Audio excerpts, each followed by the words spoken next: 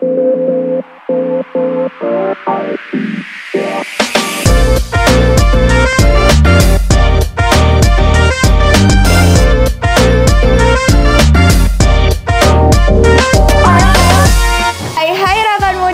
Terasa bulan Ramadan udah mau berakhir nih. Raka muda udah punya rencana mudik belum? Nah, jadi aku mau jelasin nih apa aja yang harus diperhatikan saat mudik. Pertama, siapa nih yang mudik tapi waktunya mepet dengan waktu lebaran? Jadi, Raka muda harus memilih waktu mudik yang tepat ya agar terhindar dari kemacetan arus mudik. Dua, hindari membawa barang terlalu banyak dan membawa uang cash secukupnya.